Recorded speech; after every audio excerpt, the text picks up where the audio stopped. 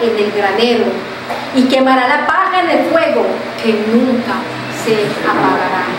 Repito, su aventador está en su mano. ¿Qué es un aventador?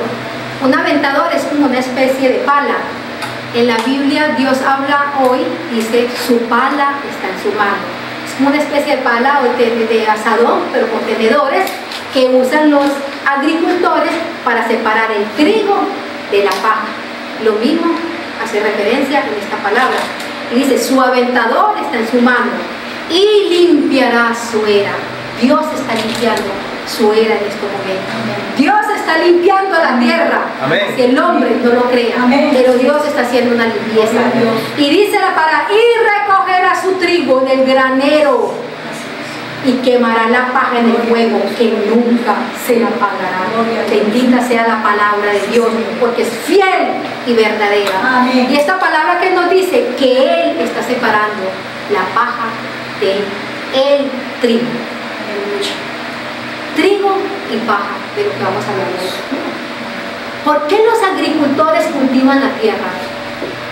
¿Por qué? Porque ellos quieren, desean levantar abundantes cosechas. Ellos quieren levantar fruto bueno para deleitarse, comer, gustarse de ese fruto. Fruto. Por eso el agricultor cultiva la tierra. Lo mismo pasa con Dios Padre, pero Dios no cultiva la tierra. Dios cultiva el espíritu del hombre. Dios cultiva el espíritu del hombre para que al final de los tiempos este pueda estar en el gozo de su presencia, compartiendo amor verdadero por la eternidad. Por eso Dios cultiva el espíritu del hombre. Al final de toda cosecha siempre hay fruto y siempre hay paja. Siempre habrá fruto, trigo y paja. Por lo que los agricultores, ¿qué hacen? Ellos separan el trigo de la paja y cogen el trigo, lo almacenan en graneros y ¿qué hacen con la paja? La queman, la botan o la utilizan como fertilizante. Lo mismo está diciendo Dios en esta palabra. Lo mismo, al final de los tiempos, Dios nos está diciendo lo mismo. Al final de los tiempos, Dios también separará a sus verdaderos hijos de entre los seres humanos. ¿Para qué? Para llevarlos al cielo y darles vida eterna. Y lo demás irá al fuego eterno. Está escrito en esta palabra. Es decir, al infierno. El infierno como Jesús nos lo explica en Marcos capítulo 9, versículo 47-48, el infierno, un lugar donde el fuego nunca se apaga, el fuego, físicamente fuego, y el gusano de los que van allí nunca muere. Es decir, allí hay un gusano que día y noche estará eh, martirizando eh, eh, a aquellos que van a ese fuego eterno. Espiritualmente significa, cuando dice que el gusano no muere, significa que el pecado, la maldad que hay en el infierno nunca muere tampoco. Por eso Dios se encarga y está preocupado por cultivar el espíritu del hombre, porque ese espíritu, esa alma es lo que más le interesa a Dios. Miren, los agricultores con qué cultivan la tierra? Ellos utilizan herramientas, elementos, ¿verdad?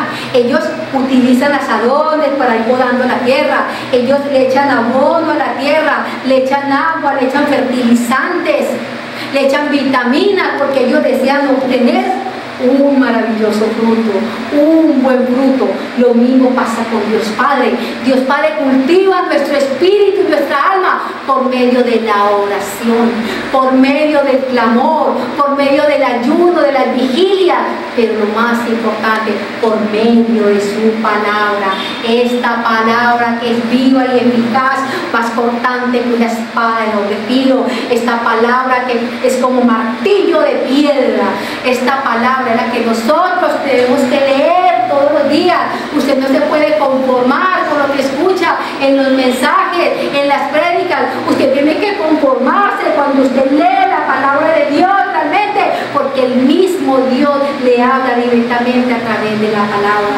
Es por medio de la palabra que Él cultiva nuestro espíritu.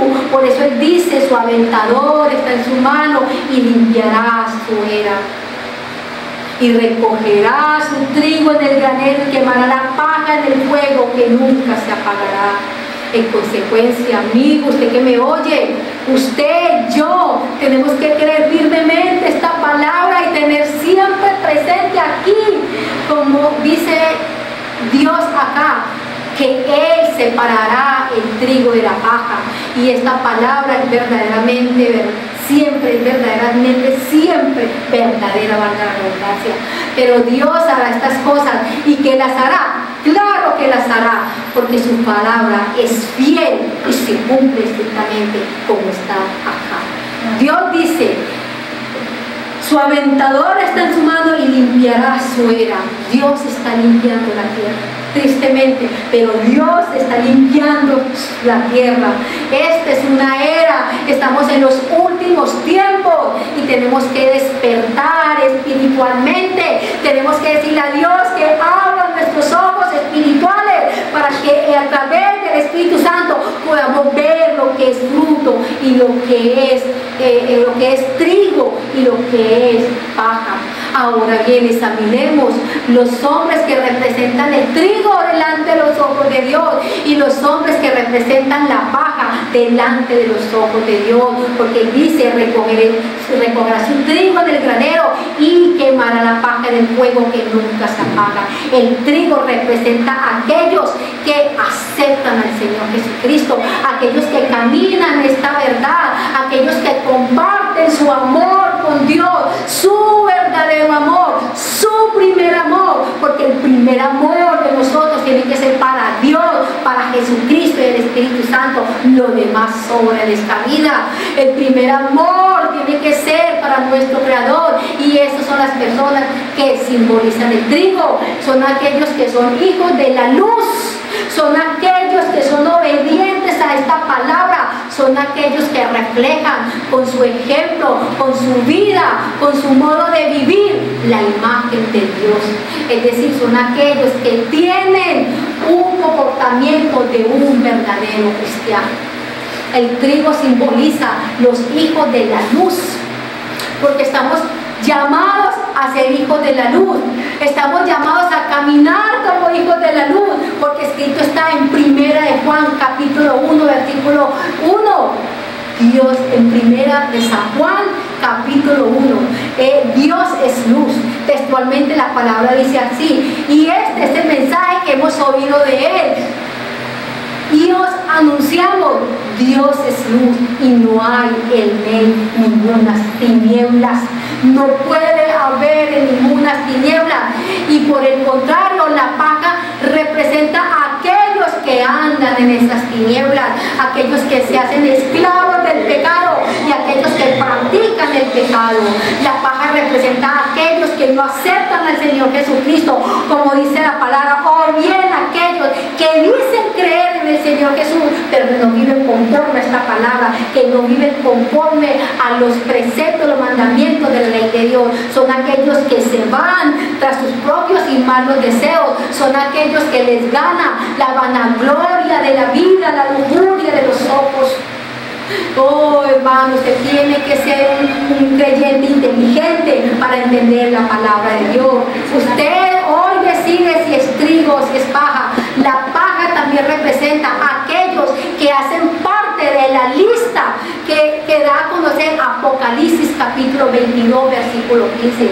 Porque dice la palabra de Dios en Apocalipsis 22, versículo 15 textualmente, mas los perros no entrarán en el reino de los cielos, ni los hechiceros, ni los fornicarios, ni los homicidas, ni los idólatras, ni aquellos que aman y dicen mentiras.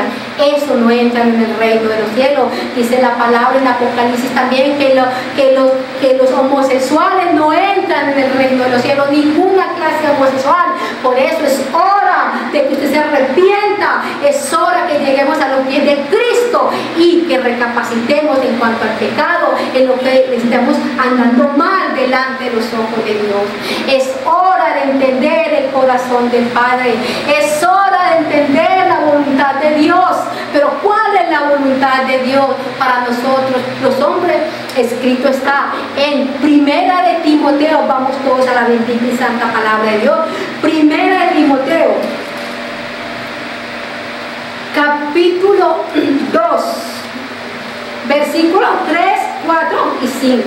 Dice la palabra de Dios con la autoridad del Padre, del Hijo del Espíritu Santo. Porque esto es bueno y agradable delante de Dios nuestro Salvador, el cual quiere que todos los hombres sean salvos y vengan al conocimiento de la verdad. Porque hay un solo Dios y un solo mediador entre Dios y los hombres, Jesucristo hombre. Jesucristo hombre. Esta es la voluntad de Dios. Porque dice, el cual quiere que todos los hombres vengan al conocimiento de la verdad y sean salvos. Familia, amigo oyente, usted que me escucha, usted debe conocer, debe saber que el corazón del Padre, del Dios Todopoderoso, se parte en dos. El corazón del Padre gime a través de su maravilloso Espíritu Santo, gime con gemidos indecibles, como está escrito en Romanos 8, versículo 26. Él llora cuando ve que sus propias criaturas, hechas a su imagen y semejanza, van camino a las llamas eternas. Cuando ellas deciden ser paja y no deciden, y no deciden ser trigo, el Padre se lastima. Por eso dice la palabra, Dios quiere que todos sean salvos y vengan al conocimiento de la verdad. Primera Timoteo, segundo versículo 4. Esto quiere decir que Dios quiere que todos los hombres sean trigo y que vayan al eterno reino de los cielos. Esa es la voluntad de acuerdo a esta palabra. Dios está tratando de muchas para que el hombre se dé cuenta de esta palabra, porque Dios que quiere llevarlo por el camino de la salvación. Dios está hablando por todos los medios. Dios habla a través de los medios de comunicación. Dios habla a través de la naturaleza. Dios está hablando a través de esta pandemia y el hombre tiene los ojos eh, entenebrecidos. Es hora de despertar. Dios está hablando a través de la pandemia y está limpiando su era, como lo está diciendo acá. Es hora de volvernos a Dios. Es hora de volvernos y lavarnos con la sangre de Cristo. Es hora de limpiar nuestro corazón, de sacar toda esa basura, desperdicio que hay aquí. Es hora de circuncidar nuestro corazón con esta verdad para que el corazón sea transformado por la verdad, sea lavado poderosa del Señor Jesucristo y podamos volvernos trigo y entrar al eterno reino de los cielos. Es hora de convertirnos a Dios. Oh pueblo, oh nación, el que me escucha, porque yo sé que este mensaje llegará a muchos rincones de la tierra. Es hora convertirnos a Dios. ¿Y cómo llegamos al trono de gracia? Solamente, como dice su palabra, a través de Jesucristo, hombre. Porque dice la palabra en el versículo 5, porque hay un solo Dios y un solo mediador entre Dios y los hombres. Jesucristo, hombre. Jesucristo, hombre. Pero ¿qué pasa hoy en día? Tristemente, muchas personas, a pesar de los eventos que están sucediendo, a pesar de, ver que la tierra gime y llora, muchas personas hoy en día están quebrantando el mandamiento de la de Dios. Muchas personas finalmente quebrantan la voluntad de Dios. Por un lado la gente gime, por un lado la gente llora y por otro lado la gente está delinquiendo y haciendo maldad y maldad y no tiene los ojos espirituales abiertos. Es hora de convertirnos a Dios. Es a Dios porque estas personas que quebrantan la voluntad de Dios, esas personas que quebrantan el mandamiento de la ley de Dios, óigalo bien, son como las bestias, no son mejores que los animales. Escrito está en esta palabra en el libro de Eclesiastés, capítulo 3, versículo 18. No son, para Dios, son semejantes a animales, así lo dice su palabra. Es hora que te cambies, es hora que, que llegues a pies de Cristo y es hora de cambiar esa actitud, es hora de que tú, oh Dios, que tu pueblo, que tu nación te llenes de fe para llegar a la presencia de Dios. Es hora de llegar al Padre. Por eso dice, solamente hay un mediador, Jesucristo. Jesucristo, hombre. ¿Sabes quién es Jesucristo para ti, amigo que me escuchas? Jesucristo es tu libertad. Jesucristo es tu felicidad. Jesucristo es tu seguridad. Jesucristo es nuestra salvación. Cuando nosotros encontramos a Jesucristo, cuando encontramos a Jesucristo, encontramos la libertad. Y somos libres de todo cautiverio. Somos libres. ¿Sabes qué pasa cuando tú aceptas a Jesucristo y lo reconoces como tu verdadero Salvador? ¿Sabes qué pasa? Dios automáticamente nos da un regalo.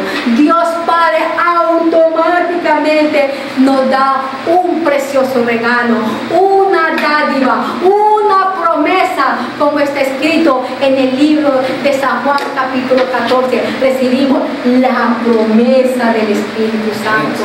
Recibimos la promesa del Espíritu Santo porque solo no vamos a ser capaces. Misión imposible, quitarnos la basura del corazón por nuestro propio medio. Necesitamos ayudador, necesitamos el consolador, necesitamos la ayuda del maravilloso Espíritu Santo, porque escrito está en el libro del Evangelio de San Juan, capítulo 16, que Él es el que nos convence de nuestras miserias, de nuestros pecados. Él es el que nos convence de justicia y de juicio.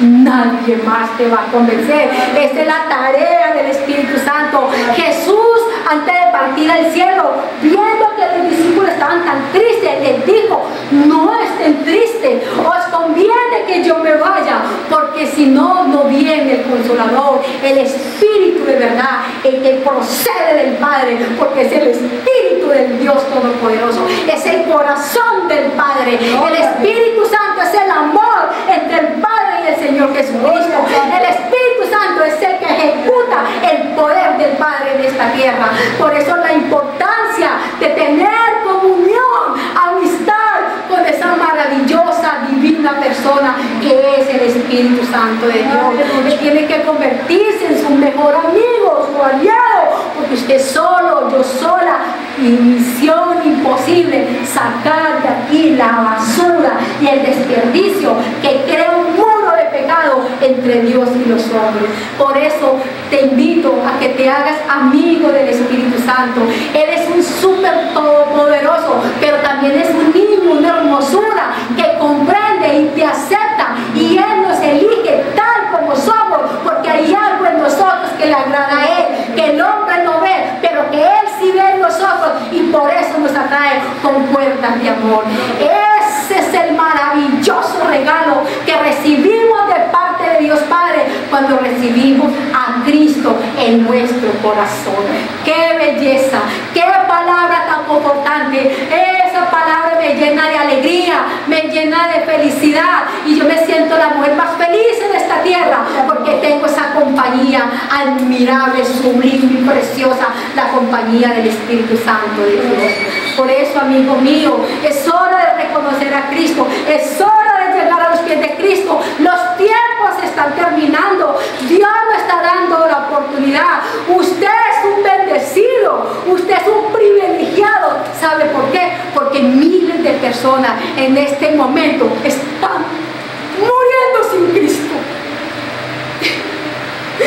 Y es triste, muy triste. En cambio nosotros estamos vivos y estamos leyendo palabra del Dios viviente. Tenemos la oportunidad de ser trigo. Tenemos la oportunidad de entrar al reino de los cielos y no ser paja para ir a las eternas llamas del fuego.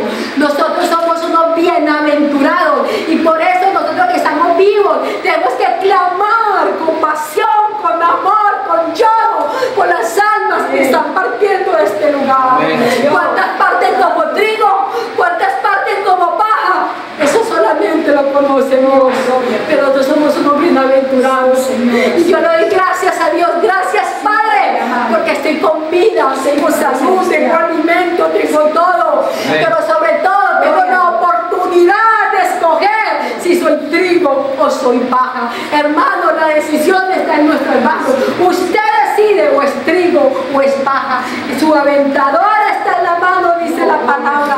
Y vuelvo y le repito, su aventador su mano y limpiará su era y recogerá su trigo del granero y quemará la paja en el fuego que nunca se apaga. Mateo capítulo 13, versículo 12. Más clara no puede ser la palabra. Y que Dios hará estas cosas. Claro que Dios las va a hacer. Porque Dios no es hombre para mentir, ni hijo de hombre para arrepentirse. Lo que Él escribió, escrito está y se cumple a la cabalidad. Por eso, hermano, esta es la invitación despierte, saque esa, saque esa, eh, esa basura que hay en su mente, en su corazón, limpie su corazón con la palabra de verdad.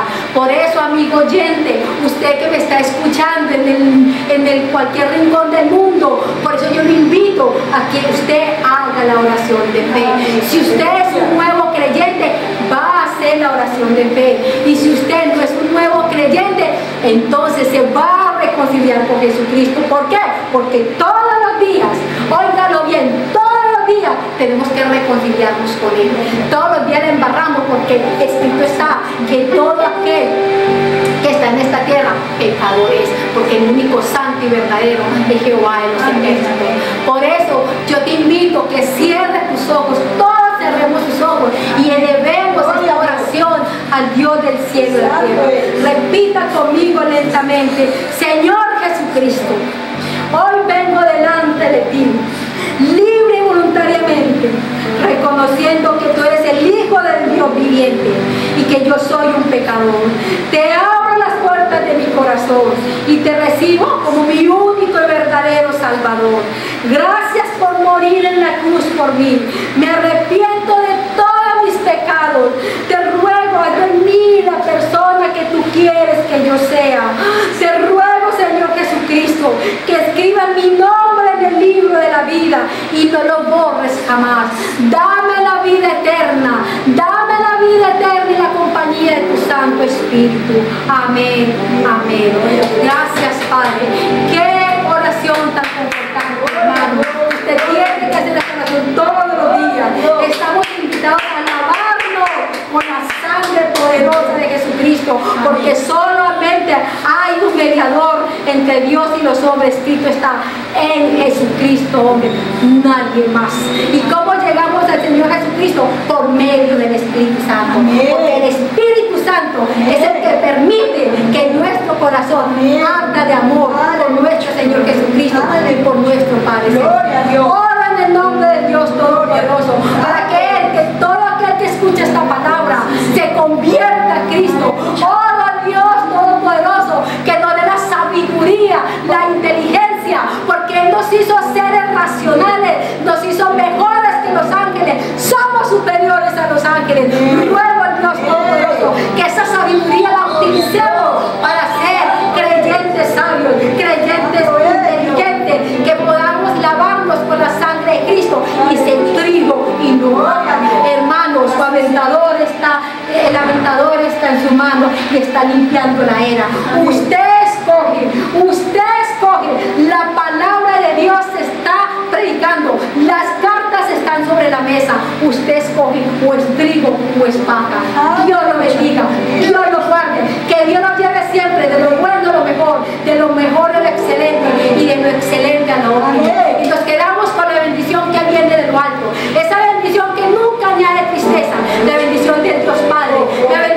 Señor Jesucristo, la bendición del Espíritu Santo. Amén. Amén.